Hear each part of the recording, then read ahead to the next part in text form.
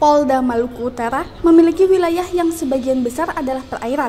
Perairan Maluku Utara dengan luas wilayah 106.977,32 km dan memiliki 1.474 pulau, di antaranya hanya 89 pulau yang berpenghuni.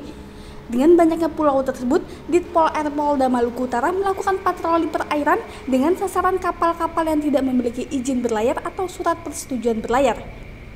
Selain itu, petugas juga melakukan pemantauan ke sejumlah pulau tak berpenghuni yang dikhawatirkan disalahgunakan oleh kelompok teroris, mengingat Maluku Utara berbatasan langsung dengan Filipina dan Republik Palau.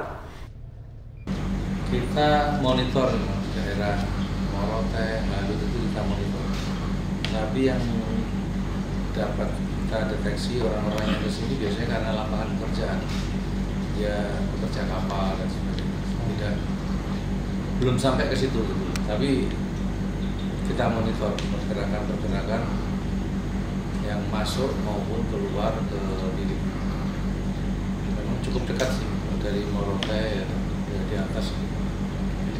Sekitar mungkin sekitar kalau speed itu bisa 6 sampai 8 jam. Kalau pulau-pulau itu masih masuk di polsek-polsek pulau-pulau itu ada ada polisi polsek-polsek